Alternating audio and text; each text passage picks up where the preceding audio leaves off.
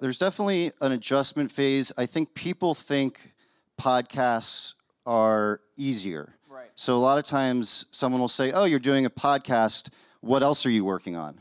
and I'm like, "No, no, no. This this like 6 episodes is a 18 hour a day, 7 7 day a week thing and to just barely pull it off."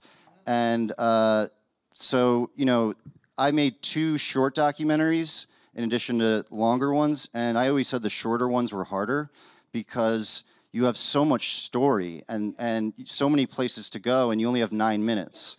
And there's that old quote, I forget what it exact, it's, it's something like someone wrote someone a, a letter, and at the end of the letter they wrote, I'm, I'm sorry, if I had more time, I would have made this shorter and it- it's a lot harder to do you know do something with less and so um, it's been a it, it's been it's been a, a lot more time consuming but uh, in a, an enjoyable way. I like it